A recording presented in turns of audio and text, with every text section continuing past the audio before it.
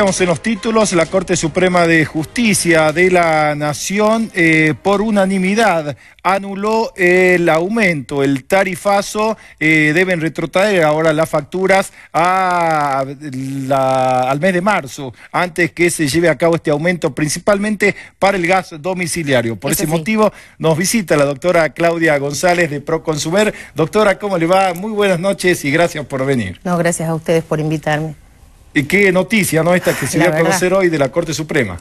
La verdad, un, gran alivio para la gente, más la de nuestra provincia, que nosotros en las asociaciones hemos recibido casos donde de verdad no solo las tarifas habían aumentado de manera impresionante, la gente no lo había podido saber y entonces no había este, regulado el consumo o no se había autolimitado en cuanto al consumo. Eh, hizo más frío que en igual época del año anterior y además nosotros acá en nuestra provincia teníamos casos donde de verdad con los ingresos que había en el hogar era imposible afrontar esas facturas. Es, ese aumento de más del mil por ciento, pues nosotros las vimos a las facturas, nos tomamos el trabajo antes de presentar el amparo, este, era imposible. Afrontarlo en Jujuy por lo menos era imposible y yo creo que en las provincias de, en general tan este, dependientes del empleo público como es la nuestra, sabemos el nivel de ingresos de los hogares promedio. Entonces, la verdad que un aumento del mil por ciento es imposible de afrontar. Doctor, ahora para, lo que, para los que están cada uno en su casa, ¿qué debemos hacer? ¿Buscar la boleta del mes de abril o de marzo y con ese importe ir a pagar eh, el, el correspondiente de los meses siguientes? No, no, no, no. El usuario en, este, en esta situación de marchas y contramarchas, del ministro que anunciaba en la prensa una cosa y cuatro días después nosotros volvíamos locos al ENRE o al, al, ente regulador del gas pidiéndole la resolución que avalara lo que se había avisado en la prensa y la resolución no existía. no, no, no. Acá si hay alguien que no tiene ninguna responsabilidad en esta situación es el usuario. Entonces el usuario lo único que tiene que hacer es quedarse en su casa y esperar que llegue la nueva factura.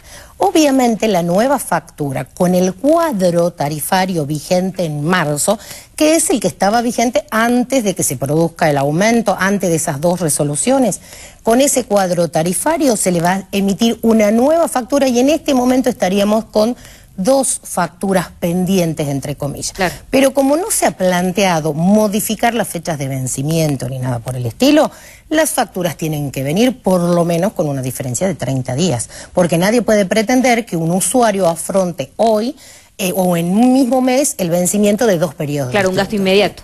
Exacto. ¿Y los que ya pagaron? Los que ya pagaron, tal como les habíamos avisado, si se modificaba la resolución de este, con la cual se había facturado, la, la resolución que fijaba el aumento, los que habían pagado iban a tener un crédito. Esto significa que ni aunque vayan a hacer cola, Gasnor se les va a devolver plata. Lo que se les va a devolver es un crédito en la facturación. Entonces es muy probable que alguien que ha pagado, en realidad tenemos, conocemos pocos casos donde se haya pagado, porque, te repito, acá había una imposibilidad real y cierta de afrontar esas cantidades. Lo máximo que ha hecho la gente por el miedo al corte es pagar la mitad de la factura, porque se le daba la posibilidad, no nos olvidemos que el consumo se mide cada dos meses y además se paga cada dos meses en el caso del gas, ¿no?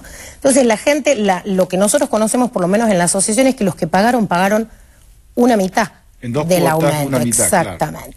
Entonces, sin perjuicio de eso, acá la obligación de refacturar, que en nuestra provincia, la empresa prestadora del gas, que es Gasnor, ya tenía establecida la obligación de refacturar en virtud de la medida cautelar que había hecho lugar al amparo presentado por el defensor del pueblo. La primera vez. Entonces, en ese momento nos plantearon desde la empresa que no, que no podían refacturar, que el sistema, que esto y lo otro, o sea, cuando se aumenta, las facturas salen en dos días, fantástico.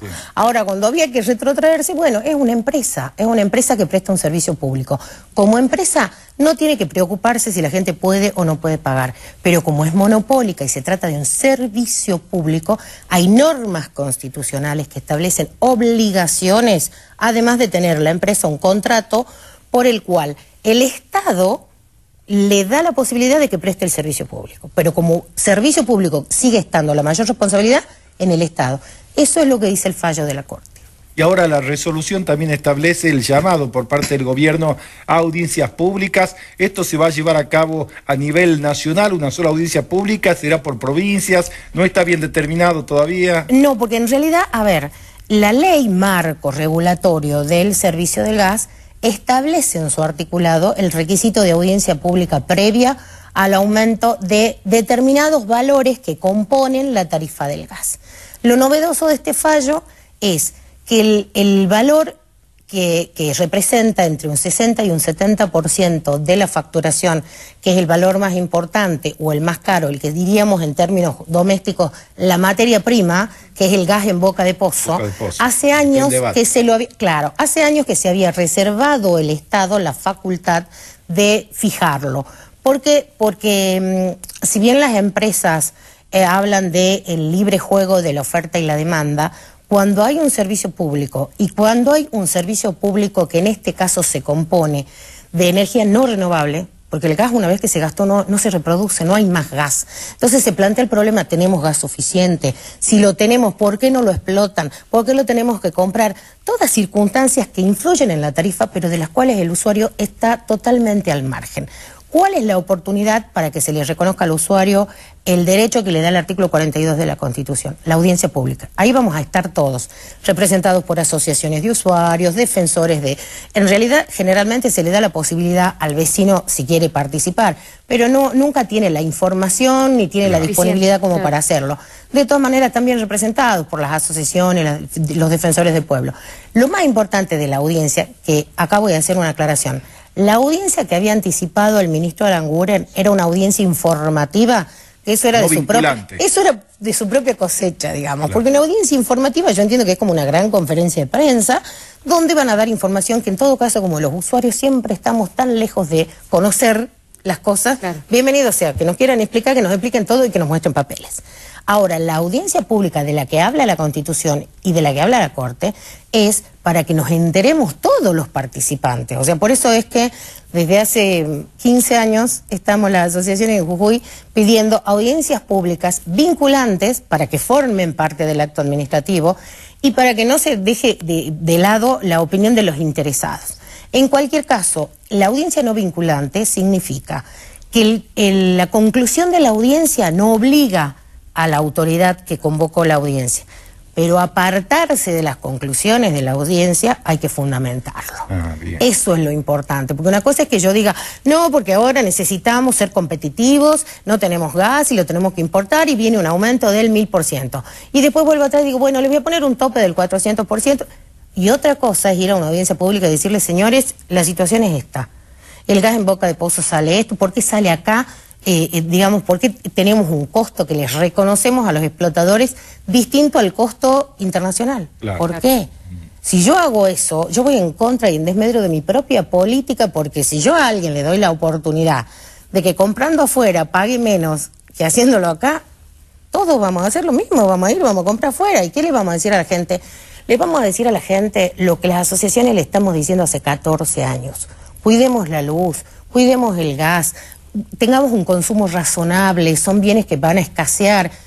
Pero bueno, eh, yo me alegro, la verdad, no solo este, a nivel de los usuarios y desde la asociación por el fallo de la Corte, sino me alegro porque en estos últimos días he escuchado a políticos que jamás los escuché hablar de consumo racional, de ahorro de la energía y todo lo demás, y ahora un poco más y nos decían, este, si no ahorramos gas, este, no vamos a tener fuentes de trabajo. Y hay que destacar esta actitud de la justicia, que muchas veces se habla de la independencia de poderes, creo que acá esto quedó fijado, ¿no? Con esta resolución. Absolutamente, absolutamente, y en el caso particular de Jujuy, Em, nosotros hemos tenido eh, una historia muy particular con los fallos que hemos obtenido los usuarios acá en Jujuy con respecto a los distintos servicios públicos en los que nos hemos planteado la necesidad de la audiencia pública.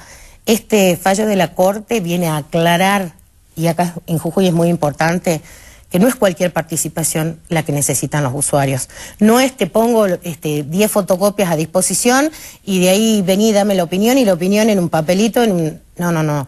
Es fundado, tiene que ser fundado, es un acto administrativo, es una decisión.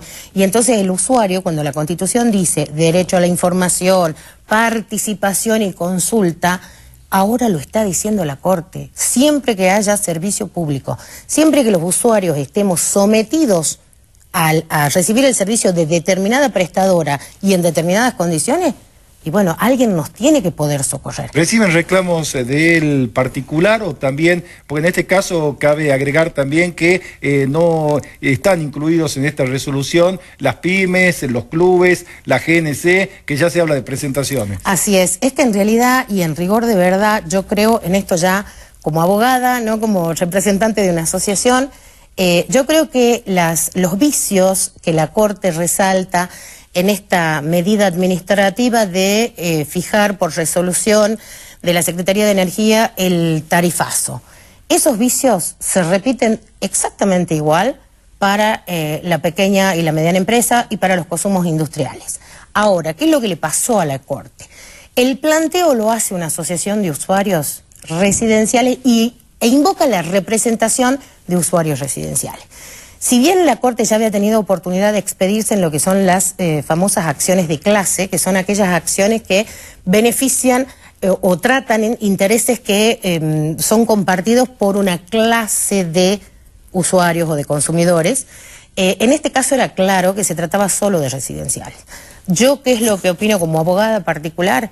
Ya tienen que estar preparando los amparos, los otros afectados, con las mismas resoluciones. Por eso es que escuchábamos este, hoy al mediodía, se hizo lugar parcialmente a el recurso o eh, se modificó o se, o, se este, mm, hizo lugar o se confirmó parcialmente la sentencia de la Cámara de la Plata.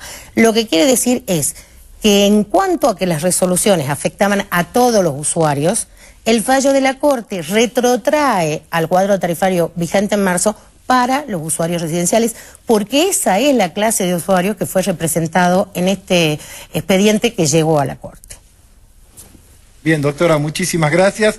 Y resta eh, recordar a la gente eh, cómo se puede comunicar con Proconsumer, dónde está ubicada, porque seguramente va a haber muchas consultas para ustedes también. Nosotros hemos tenido, la verdad, muchas consultas. En mi caso particular, este, hasta hemos tenido la posibilidad que en, las oficinas de Adiunju, que es el gremio que nuclea a los profesores universitarios, este, mucha gente se ha llegado hasta ahí a, a dejar las facturas, los martes y los jueves, los estamos recibiendo ahí, y si no, para que la gente sepa, no solo en esta oportunidad, sino de aquí al futuro. Hay una página de defensa del consumidor de la Nación, hay un mapa con todas las asociaciones que están inscriptas en defensa del consumidor en Nación. En cada provincia donde uno se pone con el cursor te dice cuáles son las asociaciones, dónde tienen el domicilio, cómo se puede acceder. En el caso de Proconsumer también tengo consultas vía mail. Entonces, el, el tema es que el usuario sea consciente de que hay una ley que defiende al menos eh, poderoso, al menos seguro en esta relación, y ese es el usuario siempre. Tenga del otro lado a la almacenera del barrio o a la empresa prestadora del servicio público de gas. Muchísimas gracias, doctora. Gracias a ustedes. Gracias por la visita. Vamos a la pausa ahora, Dana. Con